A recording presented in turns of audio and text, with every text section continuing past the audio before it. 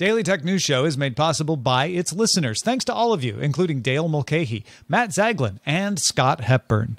Coming up on DTNS, Patrick Norton checks in on the chip shortage and how much easier it is to find the computer stuff you're looking for, plus what Meta's new Meta account means for Oculus users, and what the heck is a co tweet, and why would I want it? This is the Daily Tech News for Thursday, July 7th, 2022, in Los Angeles. I'm Tom Merritt. From the St. Louis, Missouri, I'm Patrick Norton. And I'm the show's producer, Roger Chang. It's the St. Louis, Missouri, not any old St. Louis, Missouri. The I'm. Uh, I, I have to. I have to admit, I'm. I'm struggling with a cat invasion on my desk right now, and uh, the cat has managed to shove my keyboard off. There's a lot. There's a lot going on your here. cat has been playing with your keyboard since like our prep meeting an hour ago. Like, what is up with I the just- cat today? the cat wandered off and came back for the show. That's what I'm Tell the say. cat they need to get in touch with Roger if they would like to be on the show, and we can take care I'll do of it. that. In the meantime, take production so well. Let's start with a few tech things you should know. The U.S. Cybersecurity and Infrastructure Security Agency, the FBI, and the Treasury Department issued a joint advisory warning of North Korean backed threat actors deploying the Maui ransomware against healthcare and public health organizations. The FBI said it began responding to and detecting multiple attacks in May 2021. Compared to other ransomware, Maui requires manual deployment on a compromised network with operating targeting specific files for encryption. The advisory also provided indicators of compromise for Maui. This was a much more detailed and much more practical announcement than one that uh, the heads of FBI and MI5 issued against potential Chinese spying. Oh my goodness. Bloomberg's Mark Gurman says his sources say Apple plans to launch an extreme sports version of the Apple Watch. Extreme. And now I'm thinking about Harold and Kumar. This year, the watch would reportedly have a 7% larger display, extreme stronger metal case that is not aluminum. I'm going to guess titanium and a larger battery because you're in the middle of nowhere, being extreme. May be able to detect elevation and fevers as well. I myself would like to vote for a panic detection alarm. yeah, if you've got a fever at elevation, you probably need panic detection too. uh, Reddit launched an avatar marketplace Thursday that uses NFTs to tie the avatars to a purchaser's account. Uh, this is another example of of not just issuing NFTs out on an open blockchain, but using NFTs for tracking purposes. Uh, the Ethereum compatible Polygon blockchain will mint the NFTs, but buyers will use Reddit's built-in Vault wallet to manage their purchases. So basically, anyone can use a credit or debit card, buy them, and access them in their Reddit app. Uh, you won't have to get a separate wallet or manage cryptocurrency or anything like that. The avatar is licensed for use on Reddit, and you can custom its customize its look with items from an avatar builder. If you're a member of r slash collectible avatars, uh, you might get an invite to buy the NFTs, and then they're going to open it up to everybody within the next few weeks. Prices range from ten bucks to a hundred bucks. That's an expensive avatar. Inside EV notice that a fact sheet on EV charging published by the U.S. executive branch on June 28th started, stated, excuse me, later this year, Tesla will begin production of new supercharger equipment that will enable non-Tesla EV drivers in North America to use Tesla superchargers. Hmm. Tesla opened up its superchargers in Europe last year. In Europe, non-Tesla drivers use the Tesla smartphone app to activate the chargers for their cars. However, in the U.S., non-Tesla drivers would also need an adapter. Ah, that so it's more complicated. Got it. Uh, TechCrunch's sources say India's Glance, uh, which is partially backed by Google, plans to launch its lock screen platform on Android in the U.S. within a couple months. Glance delivers casual games and media supported by ads to around 400 million smartphones in Asia already. In those markets, though, it partners with the handset makers. In the U.S., it'll reportedly be partnering with the carriers. All right, let's talk about Meta changing the way you access your Oculus. Oh my goodness. Kick us According to there. code ref- Sorry. According to code references from Meta's Oculus iPhone app discovered by developer Steve Moser, its upcoming high-end mixed reality headset known as Project Cambria will be called the MetaQuest Pro. Bloomberg's Mark Gurman's sources say it will cost more than $1,000, and when it comes along, you won't need a Facebook account to log in. Kind of. Kind of. If- It literally of. won't be a Facebook account. Uh, in 2020, Facebook started requiring users to log into the Quest VR headsets with a Facebook account. Users with an Oculus account were given until January 1st, 2023 to make that switch. That's still the case. However, at the time, a lot was made of the requirement, which I saw essentially as a back end change. Oculus's login system predated Facebook's acquisition of Oculus, so this was a way to get everyone on the same system. And Facebook already owned the Oculus data. The new system did not require Oculus users to use Facebook, just use Facebook to log into Oculus. Well, it just made them look at Facebook when they logged into Oculus. No, in any case, didn't even in theory that, at least. uh, honestly. Yeah, okay. It, I think it was just the idea of having to have a Facebook login. sure. Getting back, the system separated data from Oculus and Facebook. You could keep your VR name, unlike Facebook that requires real names, and you could keep separate friends lists, which I can see being incredibly useful for many users. Right. So again, I wa- I was looking at this like if you just hate Facebook, then sure, I get it. But uh, but honestly, this this feels like more of a technical change than a policy change, since they already had all your data anyway. Uh, it seemed like back then the idea was that Facebook, the company, was trying to be the company, not just the social network. So it would be the name of the login for everything. However, since that time, Facebook changed the company name to Meta. And on Tuesday, Meta announced that in August, I'm sorry, on Thursday, Meta announced that in August, new Meta accounts will be rolled out for logging into quests that are separate from Facebook, the social network. So you will no longer log in with a Facebook account, you'll log in with a newly created Meta account.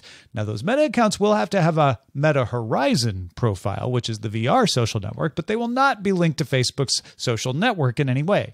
Uh, if you're a current user that logs in with Facebook, you will need to create a Meta profile in August. Uh, people still using the old Oculus logins can keep using those until January 1st, 2023, but you're going to have to create your Meta profile by the end of the year.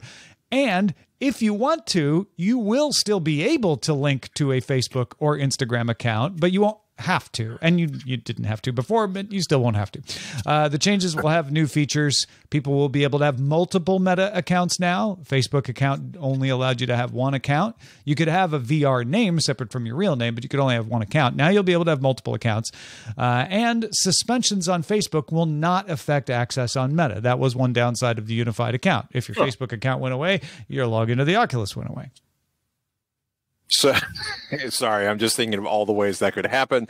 I, okay, so I look at this, and my immediate response uh, is kind of like, what is the point of this? Are they trying to distance Facebook from Meta? Did Oculus sales tank when they did the Facebook login, which, as you point out, technically is not Facebook, but.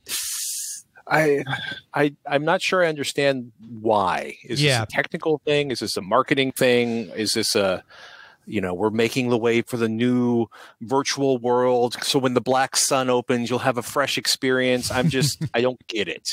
I I I think it's multiple things, as these things often are. When they switched from Oculus to Facebook back in 2020, as I said before, I imagined that that probably started with some database manager saying, "Hey, we've got this legacy database from Oculus from before we owned them. It'd be really good if we could just merge all of that into one login thing so we can manage it." And then someone else said, "Well, let's just use the Facebook login because there's some other advantages to that. We might be able to nudge some more people into using Facebook, and we already have their data, but it's easier to manage it that way." This feels like Facebook saying, not that sales are tanking, but having Facebook on there distracts from our purpose of renaming the company Meta. Renaming the company Meta was to say Facebook is a social network. There are other things we do that are not related to Facebook. Some of those reasons are because of bad press. Some of those reasons are just they don't want the confusion. They don't want people to think that it has something to do with the social network. So having a Meta account makes sense in that respect of having a Google account to log into YouTube, right? Let's have a Meta account that you use to log into things that is separate from Facebook so that we can do things like give you multiple profiles that we couldn't do under that Facebook system. So there might even be some technical reasons in there. I feel like all this would be so much simpler if Facebook just hadn't done, hadn't done so many nefarious things with data and users. And I, okay, I, is this one of those moments where we just kind of wait with bated breath to see what exciting things evolve out of the meta evolution? Honestly, I don't think anything is. I think people are making a way I bigger kept deal a out of straight this. face You know, for a it's few like- seconds just for you, Tom. Like it's just it's just a login, right? Like it's not that big of a Just deal. a login. How many times, if you think back, think back, how many times did Yahoo buy a company and then say, "Oh, from now on, you'll log into Flickr with your Yahoo account, and we'll slowly merge you over." This is this this has all been that kind of thing, which, where there's a company that's like, "Oh, we want to handle logins in a little different way." I don't know. You know, at this point, I'm really bitter because Dark Sky, my favorite weather app on iOS, is finally going away on iOS at the end of this year. So I am probably not in a rational mood as far as acquisitions, changes, logins, and your experience will be the same, just with a different login until we end the company that you love so much that Yeah. we bought because we don't understand how to make new products. This won't make Yeah, you feel any better, but they'll end the company whether they change the login or not. They they they're not necessarily linked. No comment. Let's let's move on to something that will make me confused. Twitter began testing a new feature called co-tweets. As you might guess from the name, it lets two users co-author a tweet. Wow, you're thinking editing, working together, collaborative. Well, okay, so some users are going to have access to it for a limited amount of time. But really, how is it going to work, Tom? Yeah. Uh, okay. So Yeah. it starts logically. One author starts the tweet. And then, if you have access to this feature, you can select the co tweet icon uh, and pick a co author from your list of followers. So, anybody that follows you, you can co author with. You press send invite, and the co author receives the invite in their DM where they can accept or decline. Uh, if, if, it, if they accept, the tweet posts to both authors' timelines. If they decline, the tweet's deleted. Uh, a few other considerations here.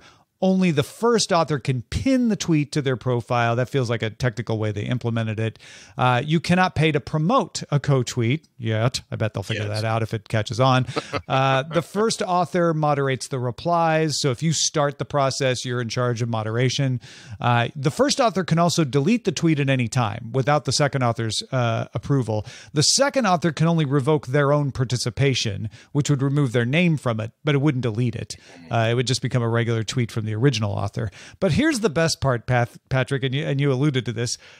You may have noticed that you write the tweet, you invite the person. If they accept it, posts. Co tweets cannot be edited at any point after the invite is sent.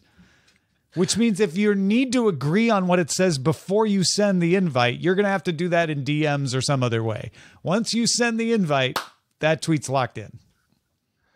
So basically, they're recreating the experience of doing a press release with a major multinational corporation, which is here's our press release involving you. Yeah. Can you sign off on that? Thanks so much. Well- um, I I get the twi- I I actually am one of the very few people who understands why Twitter doesn't want to do an edit button, and I'm fine with it. I I, I wouldn't mind if they implemented one. There's some great ways to implement them out there, but I- I- that I'm not one of those people who rages against this. However, this is a prime example of where you do need editing, where you should send a draft to someone who says, "Oh yeah, I like that how it is," or "Hey, I'd like to edit it this way," and they send it back. Yeah. You can use the trade system from any fantasy sports engine as a model for that. Um, yeah, no. I first of all, I agree with you. I think once you've posted a tweet, you should not be able to edit it for any of a number of reasons. Kill it, post a new tweet. I'm fine with that. But literally, this is this sounds co-tweet. It sounds collaborative, like Right. you might be co-working on a co-released co-tweet instead of document. Um, I'm also I'm also laughing because I I was I was working with an organization that had a very unusual tool in place that they thought of as a collaborative writing tool, and it was not Google Docs. Uh, it was essentially a online storage system that had a document editor but anytime anyone made a change it changed the document and eliminated all of the other work that had been done and resaved the document out. And even that because at least the two people could go back and forth would have been a step beyond what this is which is i made a thing. You want to release the thing with me? It's a co thing. You basically Um, have to you have to agree on the thing before you go into this process, and then this is the process to get it published. Um, if you're wondering, like, why would anyone want this? I, I can definitely see brands wanting to do this. Uh, Lisa from Blackpink uh, shows up in Paris Fashion Week with Celine, and so the Celine account and Lisa's account they do a co-tweet, or or or just music collabs. Psy and and Suga uh, combine on that that, and they both want to do a co-tweet promoting the song. There's there's plenty of those kinds of reasons I could see. I I get that. I feel that. I just feel that they could have made this less awkward. Or oh, unless oh, for you sure. know what yeah. we are looking for, what maybe what we are looking at as bugs are actually features because the marketing companies that desperately want to do this find it easier if the talent or the sponsees or the influencers or whatever it is can't actually tweak their perfect branded message. Or or that we're going to have meetings to discuss what goes into this finely crafted tweet before we ever get to the point of putting it in a compose box, right? You know. That would seem reasonable, especially yeah. given some of the things that randomly pop up. This isn't, this isn't me saying like you know like uh, thank goodness Boris Johnson resigned before Justin Robert Young went on his uh, vacation, and then trying to get Justin to co-tweet it with me, which is how I was going to test this, but I didn't get access to it. So. Darn it. Uh, folks, if you're feeling social, uh, get in touch with the DTNS audience on Twitter. We can't co tweet with you yet, but we'd love to hear from you. At DTNS Show is our account, uh, or on Instagram, DTNS Pics, or on TikTok, Daily Tech News Show. There's nothing there yet, but who knows when there might be. So follow it and find out along with us. Along with the decline in consumer PC sales we mentioned earlier this week, the price of memory has also come back down to earth. TrendForce estimates the contract price for DRAM fell 10.6% on the year last quarter and is still falling. Contract price is the price amongst people who are contracting to have flash made for their products. It's not your retail price, but it affects the retail price. NAND flash memory has not declined as much, but Wall Street Journal points out that's due to a contamination issue at two factories earlier this year that reduced production and temporarily lowered supply. That effect is now starting to fade. So you may see NAND flash memory prices start to fall too. Demand for a lot of chips is falling because of the economy. The crash in cryptocurrencies reduced the demand for people who build mining rigs. That's what we talked about earlier this week. Inflation and other economic headwinds are reducing consumer demand. And we've got new evidence of that. Ampere Analysis forecast that the global video games market will decline by 1.2% this year after growing 26% between 2019 and 21. Uh, so it'll still be up, it just won't right. be growing uh, this next year. What does that mean for you? Well, The Verge's Sean Hollister has an article up called The GPU Shortage is Over. Hollister found he could buy the NVIDIA RTX 3070 Ti Founders Edition at MSRP on Best Buy, although he did have to go into the store to pick it up. He couldn't have it shipped to him. Uh, he's also been doing the Lord's work tracking eBay prices uh, and found that these have now hit MSRP as well on average. Uh, used GPU average prices are also starting to dip, dip below MSRP. Uh, Hollister found some new cards above MSRP here and there and points out that next gen GPUs are still coming, though NVIDIA did push them off until late autumn. But it's altogether a better picture than it has been for a while. Patrick, what are you finding out there? Oh my goodness. Um, so I kind of I saw this, I retweeted it. Big fan of Sean's work. Big fan of watching the way he's been tracking these prices. Uh, I also want to kind of key in something that you said a second ago. eBay prices are closing in on MSRP or less than MSRP. That is, I believe, for used cards, which mm-hmm. is important to remember. Which generally speaking, if if it's used and not vintage, antique, or collectible, the prices would hopefully be lower than what they would cost new. Um, I was kind of fascinated because I was like, oh, he bought a card for MSRP and immediately went up to, you know, my local computer store is essentially Micro Center, went on Micro Center's webpage, and I was like, this is not MSRP. There was a 3090 for like $50 under MSRP on sale. But when. I was looking for things like 3050s, 3060s, 3070s, not at or below MSRP significantly higher. So I was like, well, okay, was that a flash in the pan with with Best Buy? And I went and I was able to, you know, dig in and open up my Best Buy account, and you know, there was a a, a really uh, I'll call it an amusing waiting show sort of waiting process where it was like, you know, we're checking the queue, we're lining you up, we're looking at the things, and uh, it was a very peculiar process. But eventually, it did say, okay, you can pick it up, you know, at your local store on the 13th or a store nine miles away on the 10th and pay your money. And it was, I was just, I literally sat there and stared, right, for several minutes yeah. um, because it was an actual new GPU at MSRP. Um, which is so weird. Um, you know, a few months ago we mentioned that cards were available, and you know, Ethereum had kind of changed the whole mining scene. All of a sudden, cards seem to be showing up. You know, the prices weren't exactly dropping, but you can actually walk into a store or go to an online source and buy a card. Then the prices started coming down.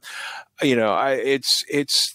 I'll, I'll say it right now. The cheaper the card is, the harder it's going to be to find for MSRP. Yeah, um, I just I just feel that's the cruel reality. Uh, you know, I'm still also laughing at a 3090 for fifty dollars under MSRP, but you know, 3090s are insanely expensive. Uh, to begin with. So it didn't feel like a discount, even though it was technically a discount under MSRP. But, you know, if you're looking for something like this, there are outlets out there where the prices, I, I guess to, to, to, to babble a bit less and, and give some focused advice, shop everywhere. Mm-hmm. Um, you know, Amazon not so much. Best Buy absolutely uh, based on this because they had 3070s and they still had 3070 Ti's that they're getting in, I, I guess, on a regular shipment.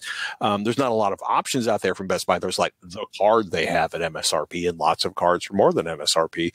Um, but you know, shop everywhere. Uh, you know, Amazon, Newegg, Best Buy, your local computer store um, Micro Center. There's lots of other options out there, uh, and and keep a track of the prices. And you know, again, like we said a few months ago, hey, you can actually buy a card now. So if you've been sitting, you know, wondering if you'll ever be able to buy a card again, the answer is yes. You know, will you ever be able to buy a cardigan at MSRP? Well, the answer is for at least two cards from one source, yes.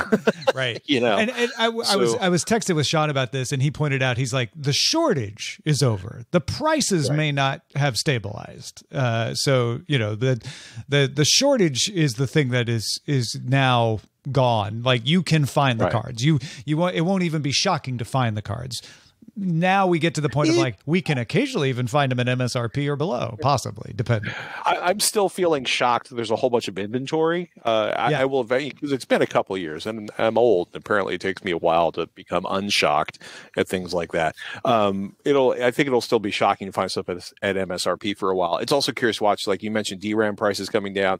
You know, the words glut have been starting to show up mm-hmm. again in terms of reporting about that, or that you know the semiconductor uh, you know, sales will or semiconductor production will catch up with the demand. Uh, I am just all in favor of this and looking forward to it, and would like it to happen faster.